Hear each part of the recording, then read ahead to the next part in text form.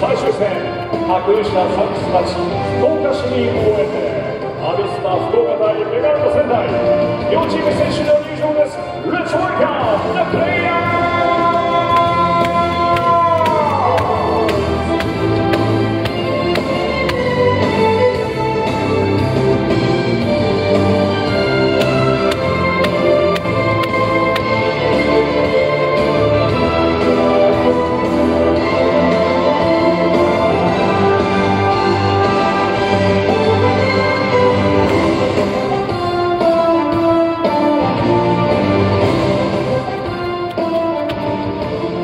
ここで白雲社サックスマッチ始球式を行います。キッカーは株式会社白雲社西松拓部さんです。